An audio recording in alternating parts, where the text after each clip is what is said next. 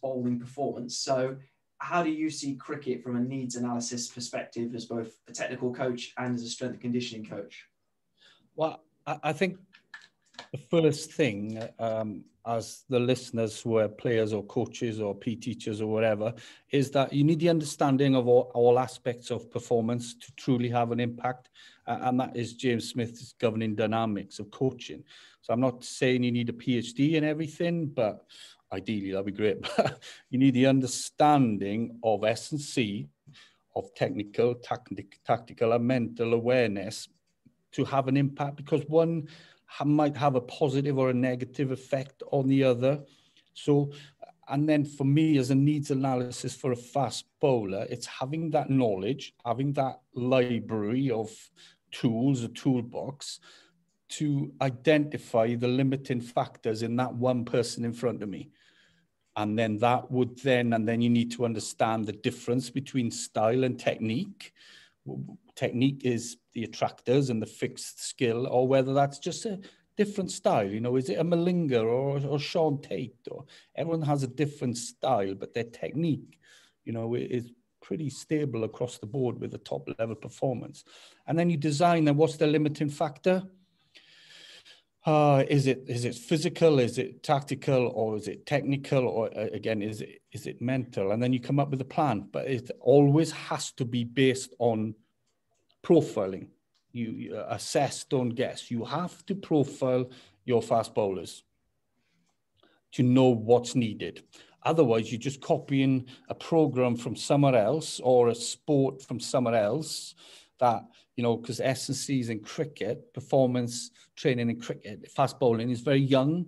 So a lot of it is very NFL, very rugby based, very power cleans, very deadlift, very clean, clean grip, grip deadlift and, and all that stuff. And actually, fast bowling is 80% speed and only 20% strength, in my opinion, because the, the, the load that you're trying to propel is only 156 grams.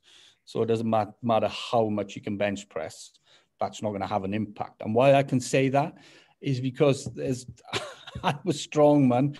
I'm not sure there's anyone going to be as strong as I was because, and I'm, and I'm not saying that flippantly, but you know, when I used to do fitness tests, I used to warm up with other people's maxes because I thought that strength was really king and queen for fast bowling. So I went down that rabbit hole. You know, I, I could bench press 150 kilograms. When my te- when my fitness test for Derby, my last last year for Derby at the age of 39, I did three rep pull ups with 70 kilograms hanging from my waist. And that's why I can say these things because I've done it. And the people who listen to me talk and would be my coaches or my players who I played with and go, yeah, he was ridiculously strong. But then that didn't help me. It helped me initially, but then after that, it just built a barrier. I, I increased the, um, you know, my dynamic strength index, the amount of strength I had, I wasn't able to use. But I didn't have the knowledge I have now. Otherwise, I would have trained differently. And it's interesting because there's uh, a quote that you kind of alluded to in our previous podcast, and an upcoming guest I've got in Vern Gambetta talks about strength training being seductive. And it's funny how, as strength and conditioning coaches, and I've certainly fallen into this trap as well, where you're like, well, I've got the performance metrics that say that he's improving, and you just blindly assume that that same dose or the yeah, same ingredients in the training program will always produce the same uh, outcome do you have any? I mean, I know we love this question and beat it to death as S&C coaches, but in your experience with fast bowlers, have you found any sort of um, trade-off points where once you start to get beyond a certain strength level that there's really no point pushing that ceiling because a 3M pull up at 70 kilos body weight that's yeah, was, that's serious yeah that was that was um I do think the pulling the lats are really important for for fast bowling, mainly for Golgi tendon organ desensitizing because posterior chain you need because that's eccentric. Posterior is eccentric loading when you're bowling, and that can be strong. But again, it is. But the, the issue is, um, I'll come back to your question in a minute. Getting stronger it, it, it doesn't matter. It, it's not going to do you any harm. Let, let's start with that now. It's not going to do you any harm to be really strong. But what it does do, it takes time away from something that could have been getting you better. So, and I think more strength and conditioning programs these days are just masking over poor technique. They're just making this, the technique of fast bowling, the poor technique, more stable. That's what they're doing because technique underpins everything. If you've got leakage in the chain, it doesn't matter how, how strong you are in the squat. If you're not separating your hips and shoulders, and due to over squatting and overloading the heel, you know, the heel rocker, then it means that I'm really heavy on back foot contact. And then that means I can't get extended force closure and swing retraction on my front leg, which helps me brace the front leg, which is, you know, a key indicator. It's my specific, one of my specific descriptors. So it's understanding actually what, what we're trying to achieve and what negative consequences. So I don't have a benchmark to your question. I don't have a benchmark where I go, he's strong enough. Okay, or she's strong enough. We go, we move on. It's just the understanding of the requirements, how they bowl, how they bowl. Are they hip or knee dominant? Are they tendon, fascia driven, or are they muscle driven? You know, I was, well, I wasn't really. I was actually hip dominant and very uh, type 1B neurotype and very fascia tendon driven. But actually, I, I incorrectly assumed that more muscle for me would help me bowl quicker. But actually, if I look back at it, I bowled the quickest in 2000. Um, so I put on massive amounts of speed in two years. I put up at 10 miles per hour in two years. And that is, that's ridiculous. That is a massive amount of speed, which is not normal. That's, that's doesn't happen. But it happened because I didn't, I, ne- I hadn't done a lot of weight training before. So I got to 24 years of age and I did weight training. And that stimulus, you know, then made me bang, push up. I pushed the ceiling, you know, I, and it gave me an immediate burst. But then I plateaued because I was strong enough.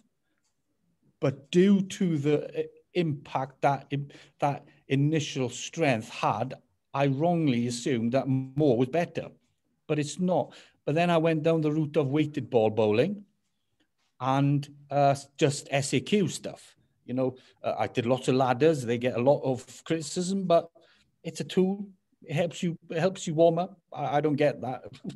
it's, it's funny. The S&C world on Twitter is a funny. It's a lot of whinging and complaining at the minute. Just just stay in your lane and do your job. Don't worry what anyone else is doing. I find it really bizarre. And then I did lots of sprinting, and that pushed me up as well. So it's it's putting the right dose stimulus in at key stages of a, a bowler's development. If we're going in these academies, putting everything in early doors, or uh, without worrying about technique, put in early in the academy structure, where do they go then? When they can't add ball velocity, where, where, where do we go now? Because we've done everything. So that that is a really important understanding that bowlers, each individual bowler is different, and we need the right dose at the right stage of the development. You know, a bowler I had here, Wade, I keep telling, I keep keep coming up on the podcast. I hope he's all right with it. Um, he weighed 58 kilograms, man. He couldn't bench press 20 kilograms uh, and couldn't squat 50 kilograms. So clearly, he needed a bit of strength, but a general strength. Um, for robustness, for structural integrity, just for um, just to become a better athlete, physical literacy, athletic development. And then, but he still bowled 80 miles per hour, which is a rapid at a schoolboy level. And I looked at him, I went, okay, this, uh, am I going down the wrong route here with my training? And this was four years ago, which led me down to this rabbit hole of hip and knee And then because I was comparing him with some other bowler who did was proper athlete, it was like squatting millions. I wasn't getting any quicker. Uh, but then I introduced some strength to him. He improved, did lots of isometric work, tendon stiffness, and he left bowling 85 miles per hour. As an 18, 19 year old boy, that is rapid. And on my speed gun, you know, on my speed gun, you know, Jofra, Varren, Shaun Tait, Stuart Broad have all have been around that mark. So this kid was rapid. If I'd have gone down the route of cleaning him, squatting, bench pressing him, then I'd have probably have done him more harm than good. In I've just jotted a couple of things down, uh, listening to you sort there, uh, just to see if my interpretation is uh, how you intended it. Um, when you said about making a too much strength training, the wrong stage of development might make a poor technique more stable. Uh, yeah. Is that under the when you said about the um, lats and desensitizing the Golgi yeah. tendon organ? Is if I'm interpreting it correctly, they were almost strong enough to tolerate a poor technique, but otherwise might have broken down if they didn't have that strength yeah. background. Yeah, yeah, exactly right. So that that's what I mean because the stresses that are involved in fast bowling, you know, nine times body weight on front foot, four or five on the back foot, that's ridiculous. And nothing we can do in the gym is ever going to uh, replicate that. So they need to be athletes. But if, you know, for a door, I'm looking at a door here now.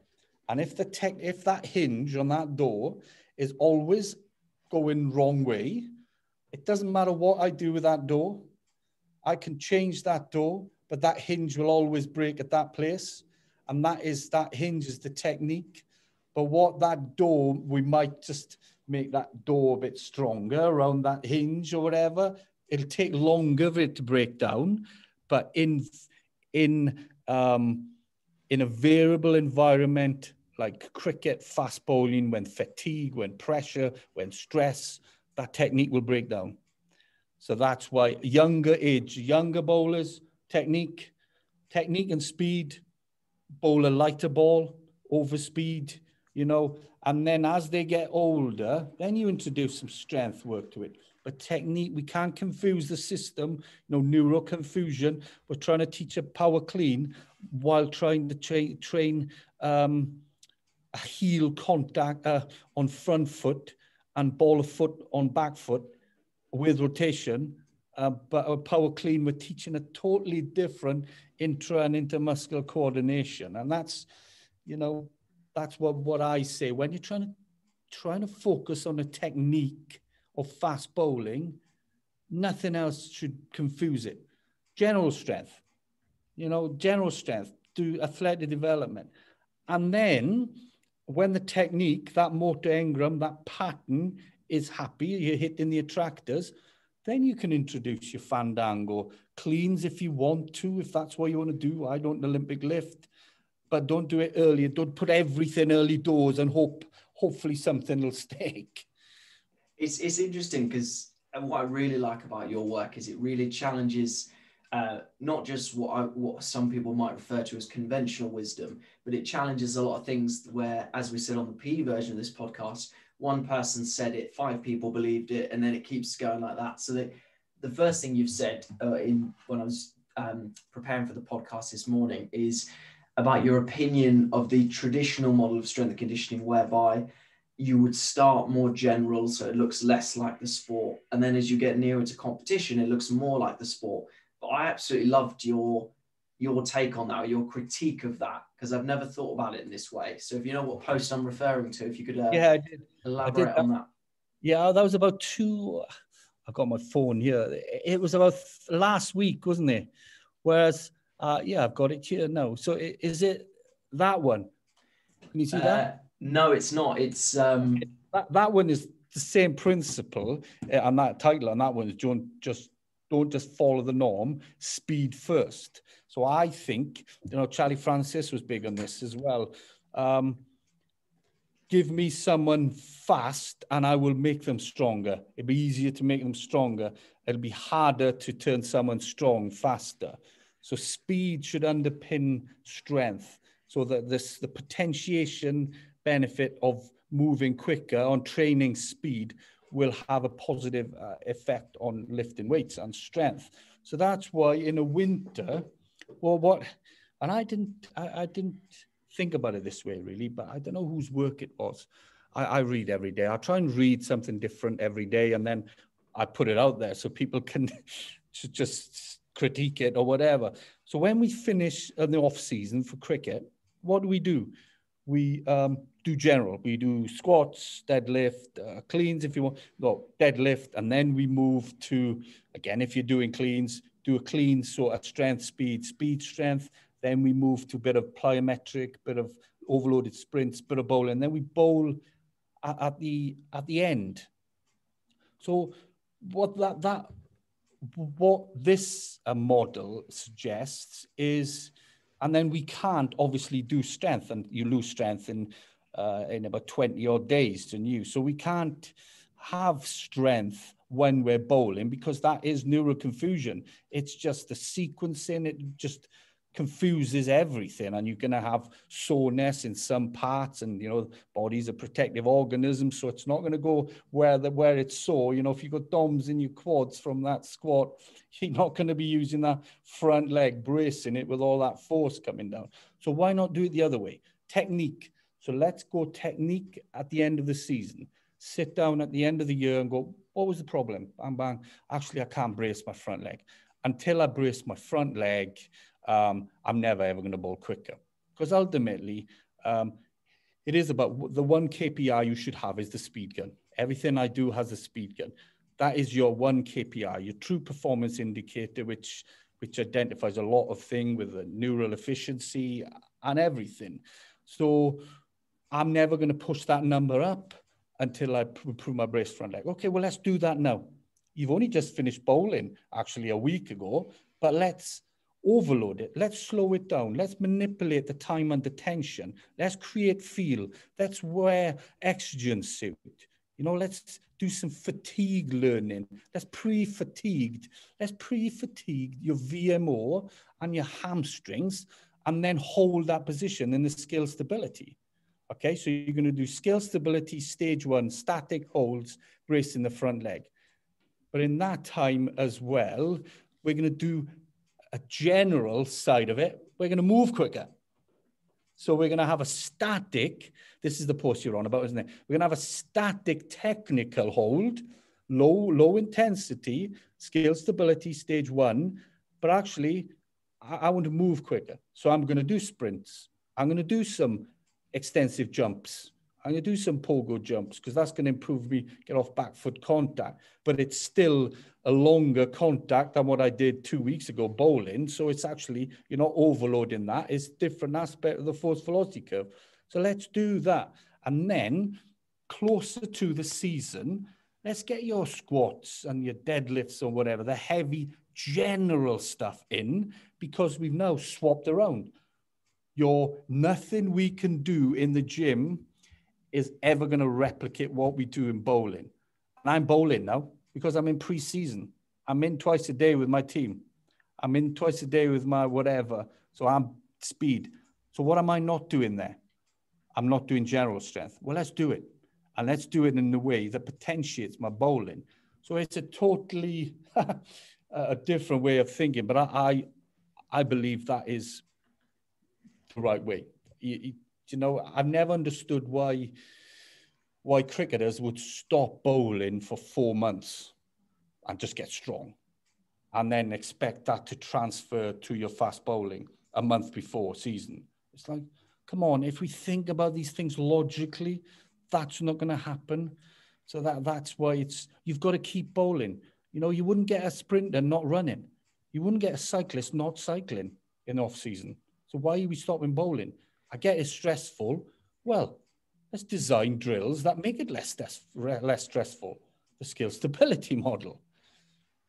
Yeah, and in fact, just listening to what you say there, I'm reminded of, and this is the thing, when you work with professional sport, every now and then you'll have some someone come up who's an anon, an, I can never say the word, an anomaly, who flies against what you've been told. Now we had a, a couple of bowlers at a cricket club that I published my masters with, we had one guy who, again, similar to um, people you've mentioned, he was athletically the worst fast bowler they had. Like terrible shoulder range of motion, probably the weakest guy, the least fit, and somehow was never on the physio table, bowled all year round. We had another guy, supreme athlete, consummate professional, was always looking for ways to improve his performance.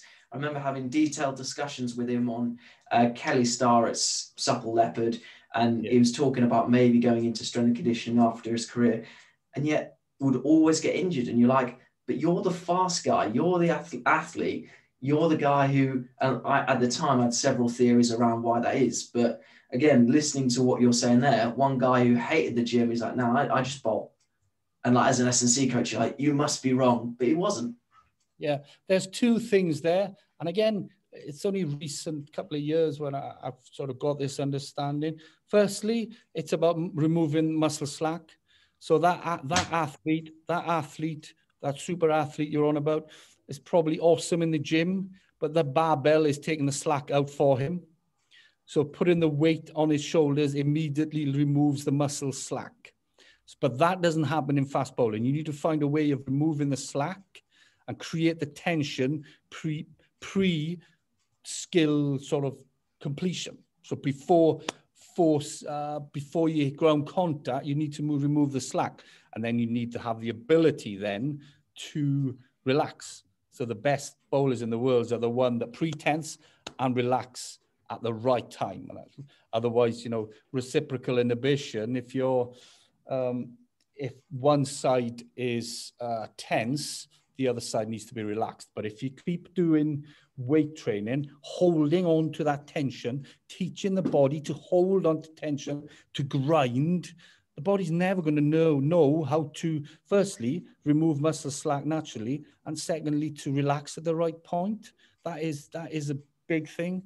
Uh, and secondly, is that Davis's law, the fascia.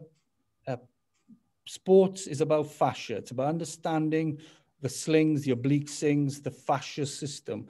And it's it's a case around the body. We're all fascia and it's all interlinked. So training one aspect of your action is going to have a positive or negative effect on another part. You know, if I if I want to create tension here, bang, I need to create create tension in the in the left hip here for that oblique sling.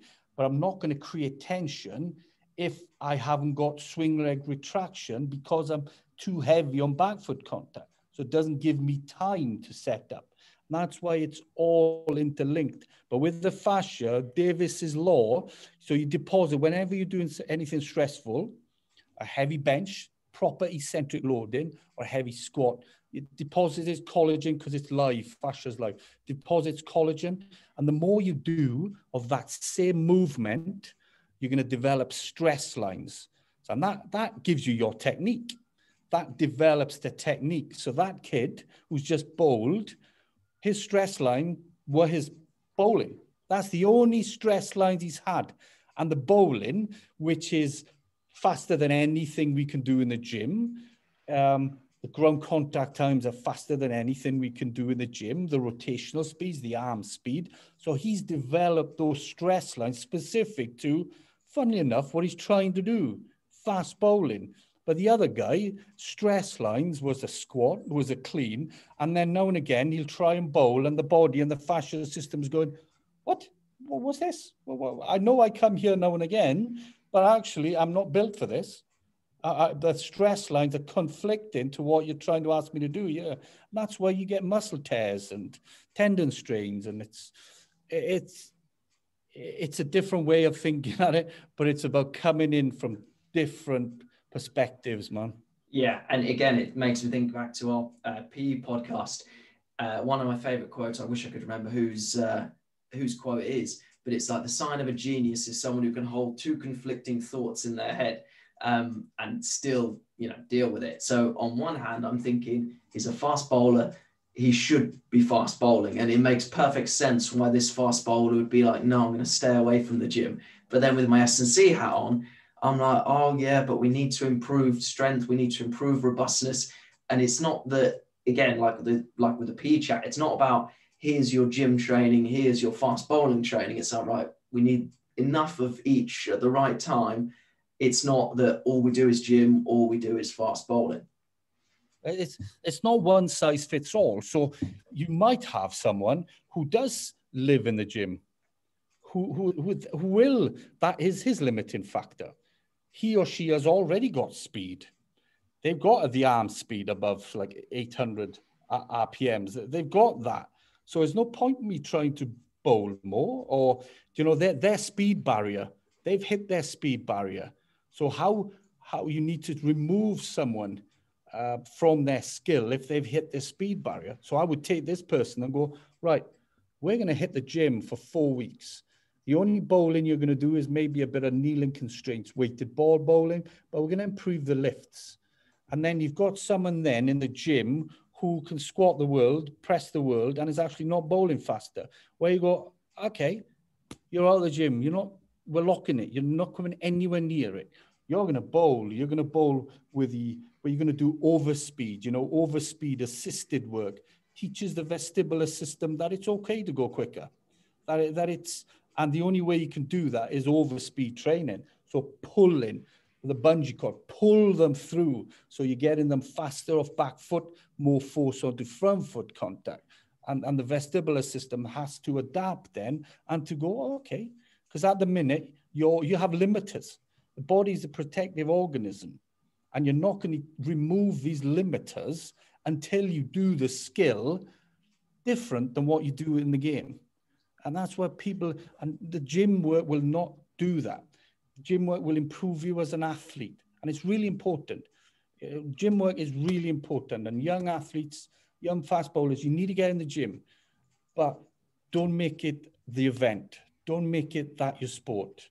Okay, and that is the problem. And that's what I call the gym whiteboard syndrome, where just because you've improved, you're now bench, you're now squatting two times your body weight, bench pressing, bench, bench pressing two times your body weight actually does that transfer to fast bowling?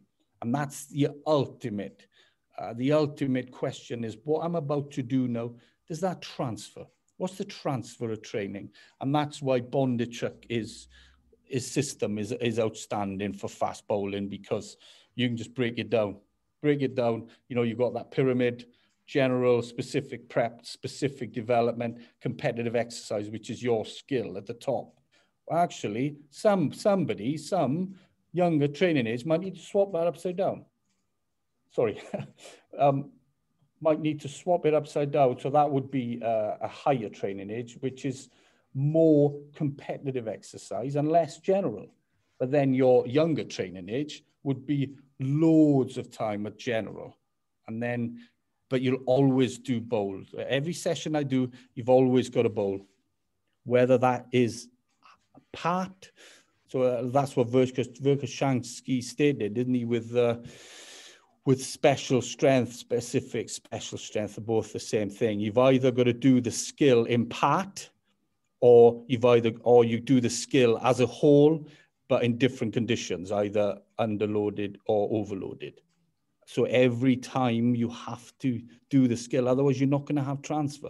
And that smaller the transfer window, the more chance it has of going into the skill. And ultimately, speed gun. The speed gun, I see so many bowling coaches without a speed gun, whether that's pocket radar or a stalker. How do you know it's working? You know, and, and, and, and they go, well, it's not all about fast bowling. Actually, cricket, here's one for you. I thought this this morning. Bowling is the only sport really as a as a position specific that you can get away with not with no speed you can get away with bowling you can make a career out of 75 miles per hour you can make it because it relies on accuracy and skill and tactical awareness but in pitching if you're a 80 miles 70 miles per hour pitcher you haven't got a career but in fast but in county cricket fast bowling you can have you can have a career, which makes it a unique beast to train for, really, because you know Fitts law that uh, when you try when you're trying to do something flat out and accurate, it's not going to happen. You know, there's always a trade-off, and that Fitts law states there's always a trade-off between accuracy and velocity. That's why when you when you train velocity, you need to take direction out of it. You need to bowl flat out into a wall, not worry about um, direction. That's the only intent is is max velocity. But the, the speed, it's about building a speed reserve as well. But Steffan, I'm not developing 100 miles per hour. But let me let me ask you something, coach. Your bowler now bowls 75 miles per hour outswing, hitting the top of off all day. Awesome. What if he did that at 80 miles per hour? And that's all I'm saying.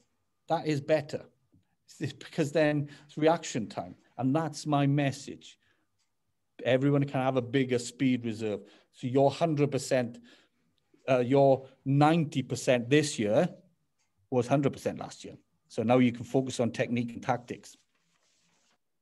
And uh, just it just uh, in scrambling between the copious notes I've got in front of me, um, something I've got written down is uh, how to avoid lazy or biased strength and conditioning assumptions. So just to elaborate that on a little a little bit more. Um, when we talked about the squatting example, you mentioned about grinding strength, and you think of strength conditioning coaches, you might say, right, I don't know, his back squat was 75, now he does 100. He is therefore stronger. And from my powerlifting background, I know when I go back into the gyms when they hopefully reopen, that yes, I'll have lost strength, but the main thing I'll have lost is the technique and skill of being able to grind out a lift. Um, so here I put the assumptions, for example, as an S&C coach are, well, 20 meter sprints are up, so he'll bowl faster, or plyometrics, he's got quicker ground contact time, so he'll bowl faster. Um, how would you avoid those lazy assumptions as a coach?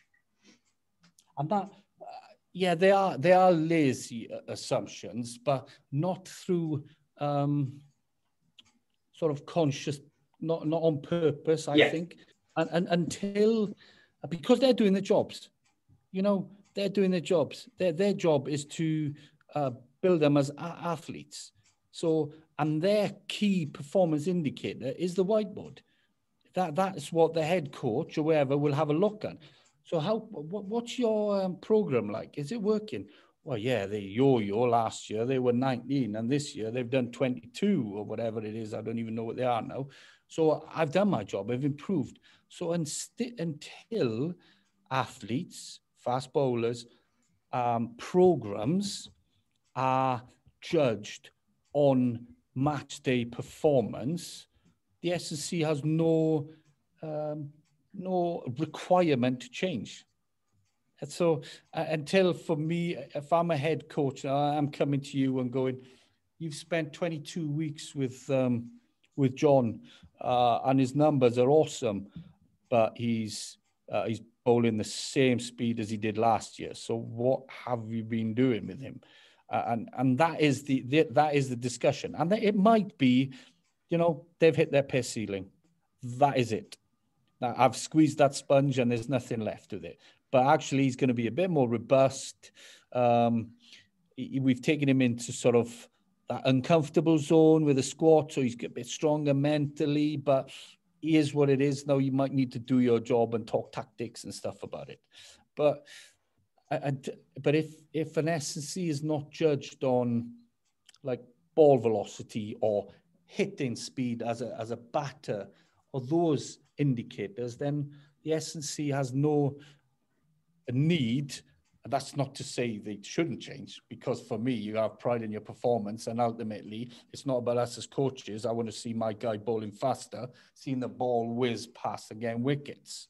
That's what I want to do. I don't care what, you know. There's some kids, some kids I've coached here who can't squat and will go to a county or an academy and will like, well, you're not doing program, very good program with you at Pace Lab or Wellington School, you can't squat. You're squatting 30 kilograms.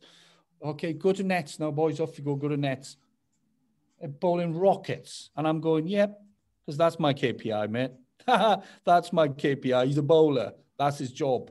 He's not a power lifter. We're not a West Side gym. It's like really important we begin to um, understand your role in a in an athlete's uh, future.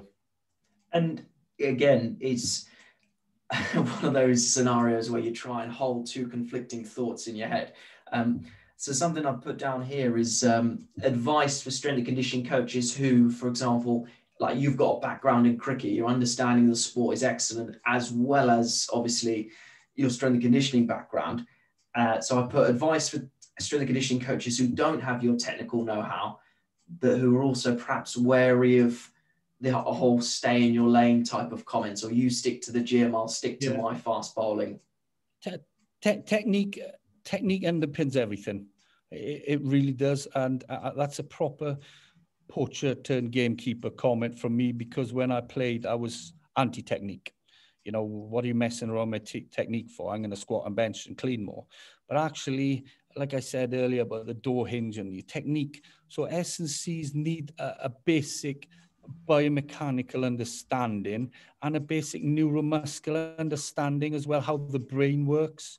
So motor learning, um, neurodynamics, uh, you know, all the DB Hammer stuff, the auto-regulatory stuff that I'm huge on at the minute with the drop-off percentages. I'm doing a test at the minute with velocity bar training where I'm benching every day because I can't squat anymore. My joints are killing me. years of bowling, my Achilles tendon is, is I've had a tendonitis in my Achilles tendon for 20 years, I think. And it went from left to right leg different years. So it was like I, I was in pain on my left leg, but then the next season there was my right leg and my left leg had tolerated it. It was so my body is in, in bits now. So I can bench, I can do upper body stuff. And I'm doing a test. I'm allowing myself 2% drop off every day, and I'm trying to see if I can move the same, same weight on that bar faster every day.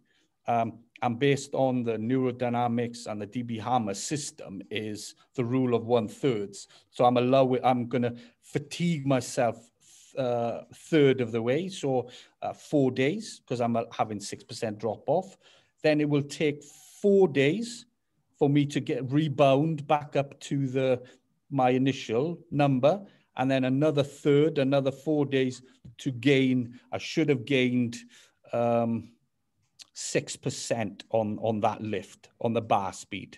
And that is, so it's an engineering perspective on it, rule of thirds.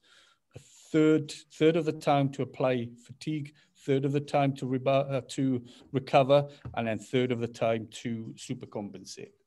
And I'm doing that now, so I'm training.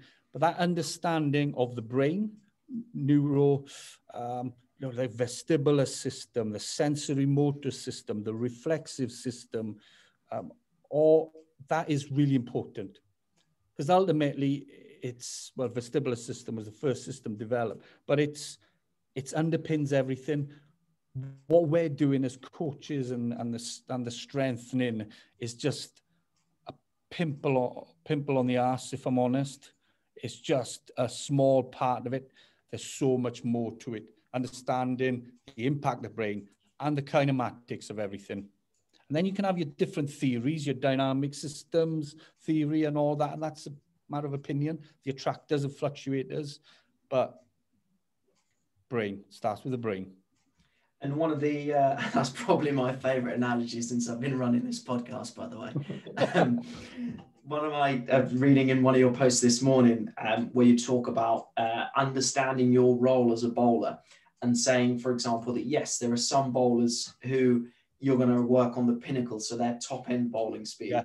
Whereas going back to a point you made earlier, there's others where uh, you actually want to improve what you call their cruising speed. Yeah, um, do you want to right. talk about how you train those two types of bowlers differently and what the approach would be there? Yeah, definitely. Good man, good knowledge. So the pinnacle would be the top end. So uh, um, that is about uh, bringing them in. So that's your that's your race horse, race horse. That's your striker, the enforcer. That's your Shaun Tait.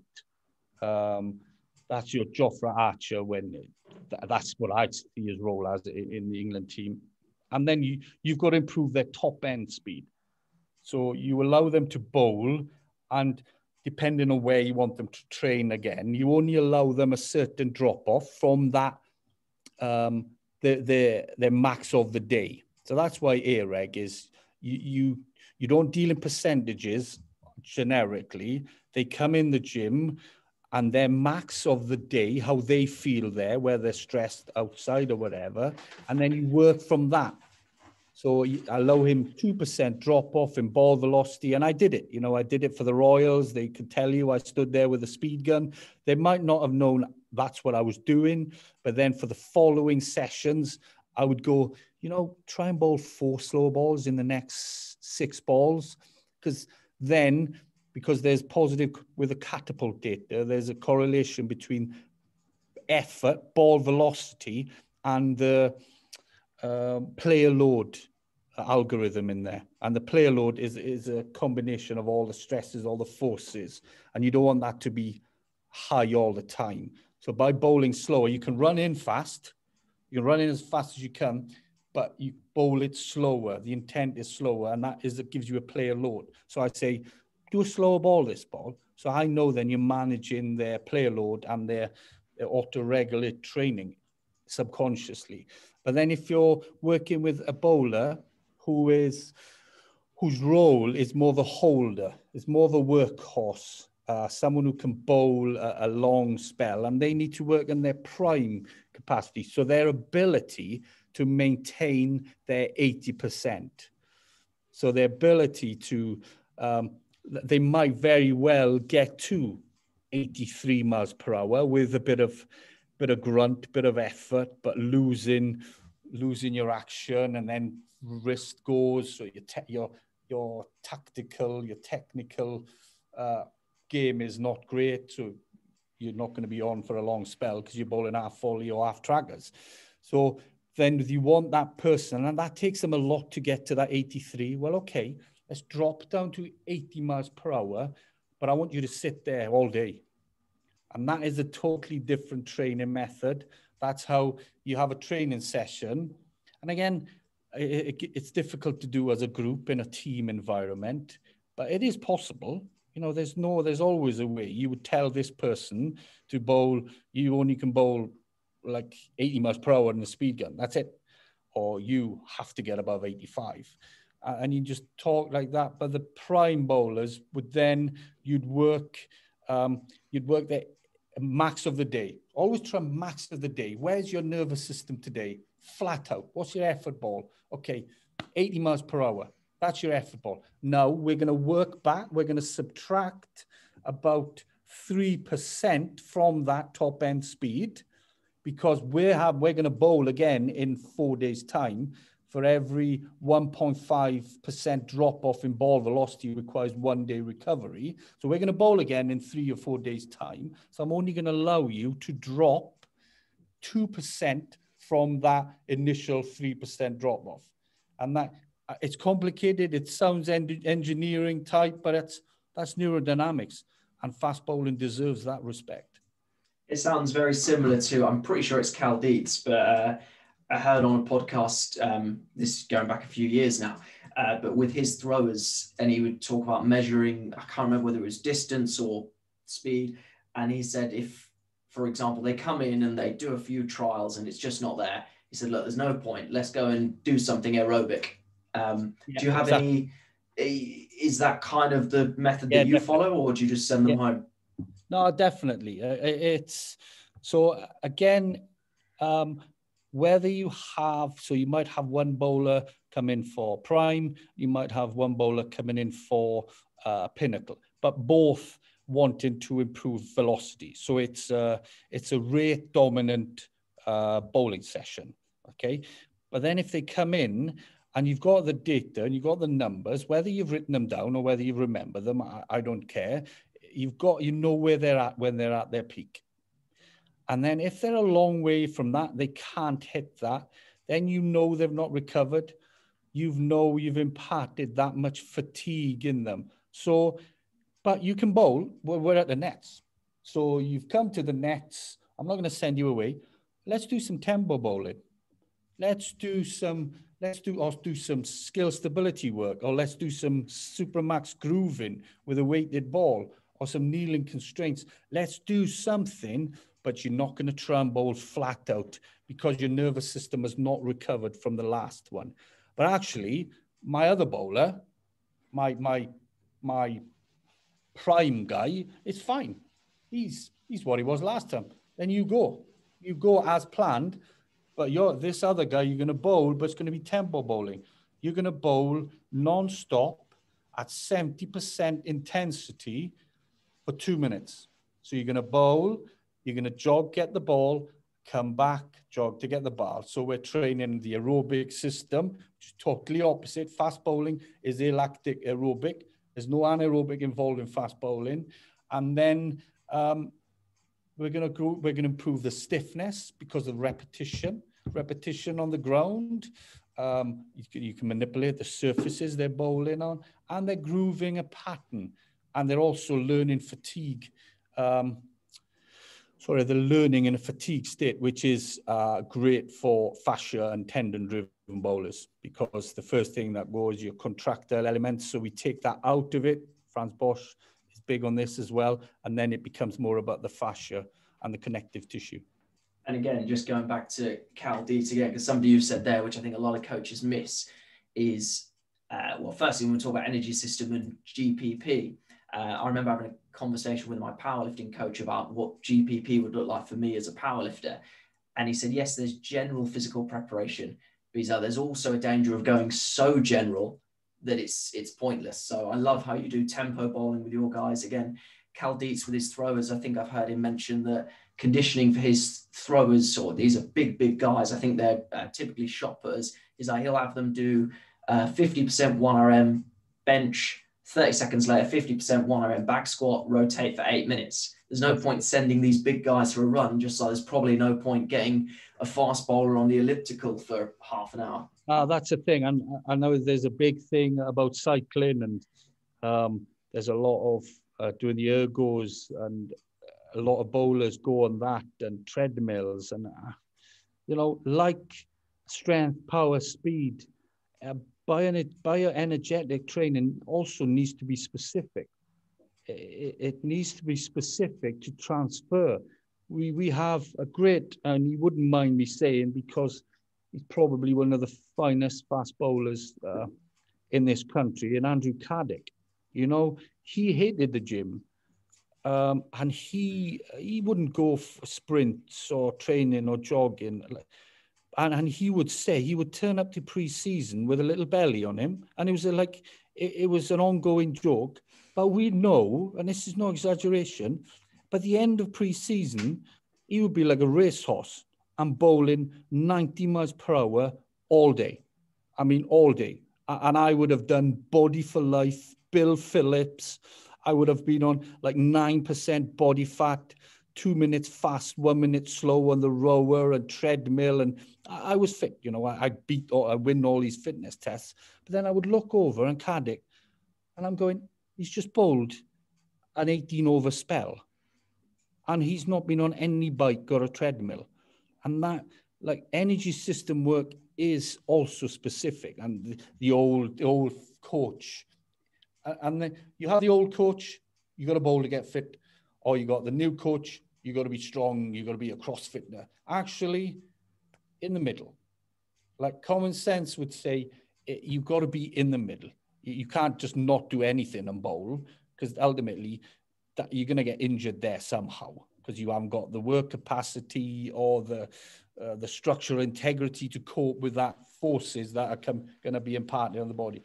But also, you're not going to be better bowler by just benching and squatting more. It's in the middle. Yeah, and it, that's one of the reasons why I love doing these podcasts, and one of the reasons I hate putting stuff out on social media because that's probably going to be the answer for a lot of things. It is, eh, and like I said at the start, I'm not saying my way is the right way. I'm just saying it's a different way of looking at things. It's it's a it's an individualized energy engineering approach to coaching fast bowlers. And I've heard uh, a lot of people uh, saying it's just big words and it's complicated. And but actually, if you understand the fundamental principles of it, which doesn't take a lot of uh, you know reading, um, it's not that complicated at all. You don't flog a bowler in the net for two hours and expect them to bowl rapid in, in season. You just flog them. You've asked Usain Bolt to run a marathon. Uh, and that's all I do is give them a number on it. You're, you've, I'm going to speed gun you. So too many coaches, going to speed guns. I'm going to speed gun you. And as soon as you drop past that number, you're going to have one more shot at it. Otherwise, you're out. You're done. That could take 20 minutes or that could take two balls. But I know you're done. And that's not that's not complicated, is it? No. No. And uh, if we just go back to the, one of the interesting things I was reading in your work this week about knee and hip dominant bowlers. Um, so just a couple of questions that I've got. Um, so you say that a, and correct me if I'm wrong on this, uh, but knee dominant bowlers uh, can only use their strength when they're on the floor. So I'm guessing that they, the question relates to programming, whether you go more towards their strength and you use, for example, ballistic type work involving longer ground contact times or whether there's any is there any point in doing some more fast contact work or physiologically are they just not built for that? Well what i say is 70 30 split. So um, you embrace your dominance 70% of the time and then you need to strengthen the limiting factor uh, strengthening in not in strength terms, but you need to improve the limiting factor 30% of the time. So in a 10 day cycle, seven days if I'm a hip dominant bowler, fascia driven bowler, seven of the days I'm bowling, sprinting, jumping, isometrics. Uh, I'm doing overcoming isometrics. I'm not doing any yielding isometrics. But then three days out of those 10, I'm going to do yielding isos. I'm going to do more force driven jumps. So it's a longer ground contact time. And I'm going to do some heavy strength work. But again, probably going to be clusters where I'm going to do cluster press, superset with a cluster one rep press, one rep squat, uh, and that way. So it's again, it's specific to bowling. Clusters is really specific to bowling, especially the potentiating clusters. Um, or a knee dominant would do seven day strength and three day speed. So you've just got to identify, and it's based on observations, the angle of back leg, like the, the, the angle of the flexion on the back knee. Are you trying to create more time by bending more at the back knee because you want to access the longer stretch shortening cycle? Or are you collapsing because you're unable to control the collision and you're not very eccentrically strong? Are you unable to pivot on back foot because you're isometrically weak? You spend too long in the coupling time. So what we need to do and it, what we need to improve is isolate them. So you identify you isolate, you overload, uh, you constrain and repeat. You constrain, overload, and repeat. A key nodes of the bowling action, whether that's back foot or front foot.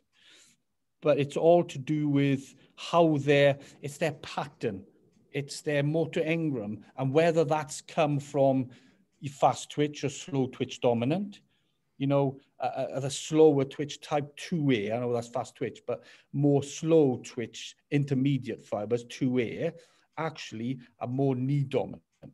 They want more time. That's what research shows in long jump. And most of my stuff is sprints and triple jump and javelin. I'm pitching now. Um, so there's a different sports all at once. And for one skill, I'm training. And they need to bend more. Or are you a type one neurotype, uh, type 1B, very high, very sensitive and acetylcholine. So your stretch reflex is very efficient, which means your muscles uh, never get fully stimulated because it's all tendons. It's all tendons. So what's, so do I need to spend three of those days actually training your muscle by you bowling on a soft surface by doing some force driven higher ground contact time because we need to strengthen the whole lot. We need, for 30% of the time, you need some muscle as a hip dominant bowler. You need structural integrity. You need to support that uh, muscular tendon unit, you know, junction there. You need strength there and, and integrity and stability, robustness there. So you can't just, a hip dominant bowler shouldn't just be bowling and sprinting and jumping. They have to do some strength. And it's about getting everyone into that middle of that force velocity curve. Good at everything. And then that becomes about technique and skill level. We can't, we can't, it can't be about the physicality of a bowler. That's the limiting factor. Because that is, that's either inadequacies for us as S&C coaches or laziness for them as bowlers, really. That's an easy fix, isn't it? That physical is an easy fix having the right knowledge and the right tools. and bring them into the right position and then allow their skill levels to be the deciding factor between success and failure. But that is, I came up with that hip and knee well, four years ago now, when it's, I think it works. People, uh, the old-fashioned one might say it's not right, but it, I, I, I think it works. And you know, the the fastest bowlers in the world have been the slingers. Have been the ones who have lowered their arms and are more sideways on. And in, in the the ideal style, not technique, they would seen as a bit, oh, that's a bit different.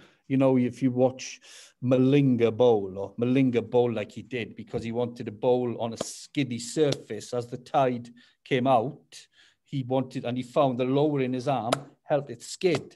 So his environment constraint then meant that he, the more he bowled at that, the fascia, the Davis, the Davis's law, and the and the stress lines created that technique, that style, not technique, that style.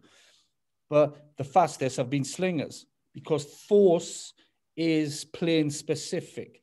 So with rotation is one for you as a side on base rotation. So it's plane specific. We're telling bowlers to put their arms up higher.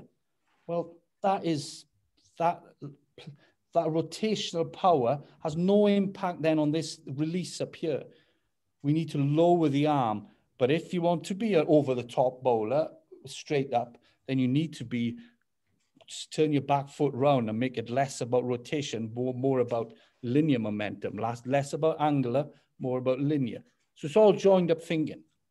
So if you're going to turn someone linear, hip dominant, then spend less time in the gym and squat is not going to improve it because I'm off my back foot in 0.12 seconds you know, the fastest squat we're going to be able to do is like on a speed dynamic day is what 1.1, 1.2 meters per second. That's, that's not helping you, my back foot. So it's just understanding that actually, but a partial squat might help me limit the more flexion on contact. That's what, what I need. So it's joined up thinking. And uh, just speaking about the uh, just going back, you might have already answered this, but this is just something I was thinking as you were going through. So I mentioned earlier about trying to avoid lazy or biased assumptions. I've definitely been guilty of this as an S&C coach where you see something and you think, oh, that's a physical limitation. Whereas you gave an example earlier where is it a case of a bowler who's unable to control the collision or are they purposefully spending longer on the floor yeah. to access a longer stretch shortening cycle? Again, you might have already mentioned this, but how do you determine whether, for example, they're deliberately doing it and it's part of their style, if that's the right word, or whether it's a physical limitation we need to address that? Okay, so in simple terms, if they land and don't deform under stress, they're fine. They're, they're strong enough. That is a habit that their system is trying to utilize because more flexion at the knee requires more time, requires more internal rotation. So then they're going to get a lot more torque. But if they land, it's the angle the back leg arrives pre-contact.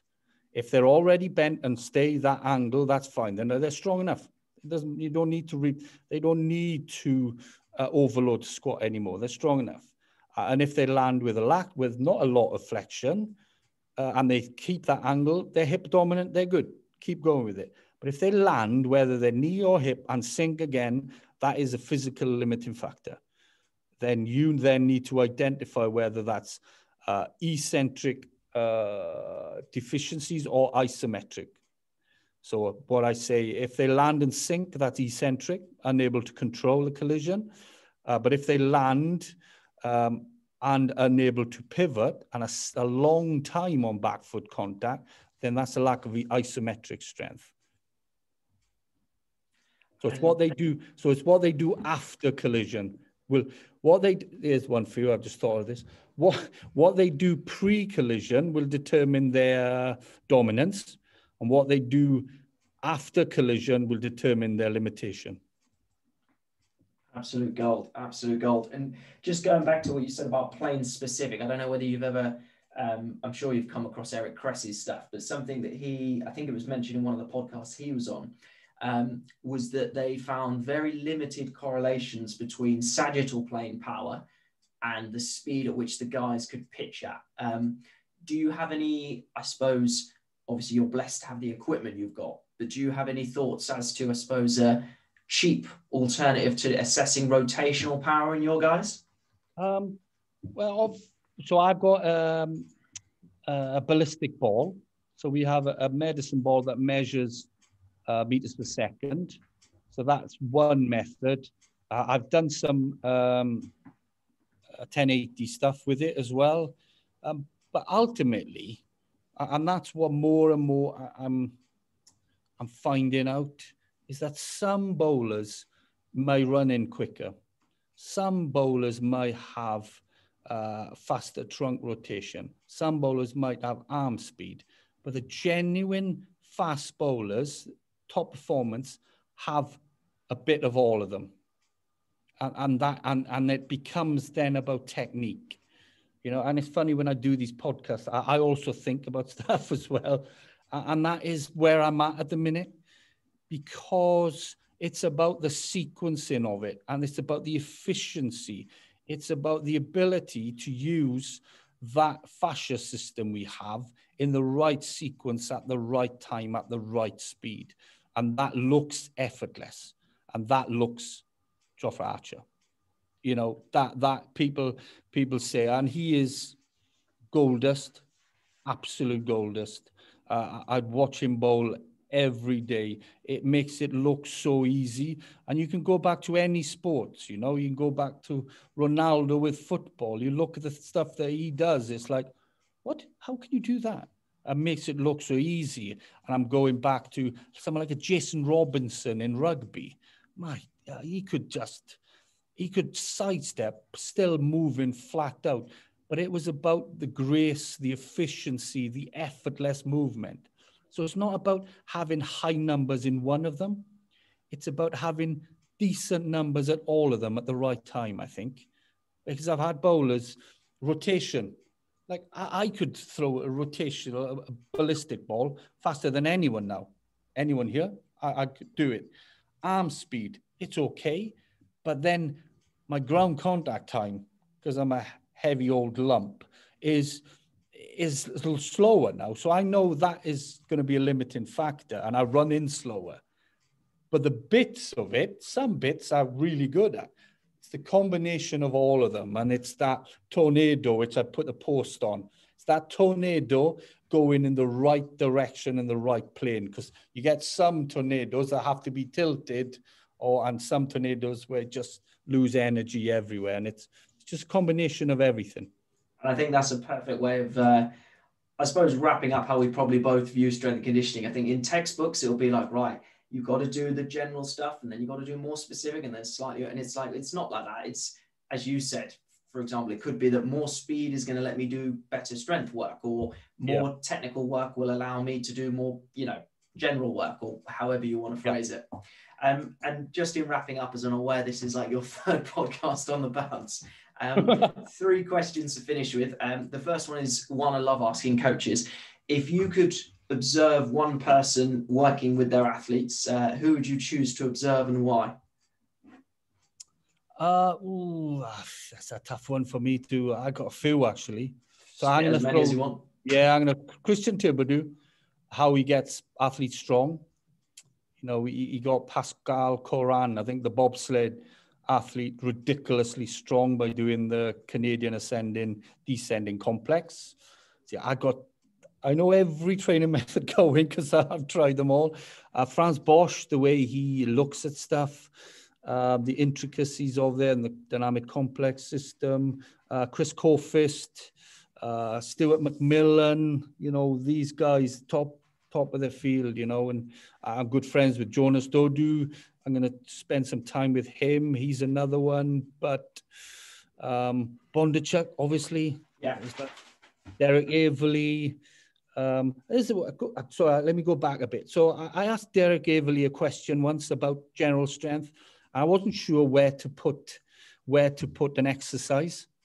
I said, so where does this go then? Is this specific development, specific prep, or general? Uh, and, I, and, I, and he came back to me and he said, well, by you asking that question, straight away tells me it's not that important for your program.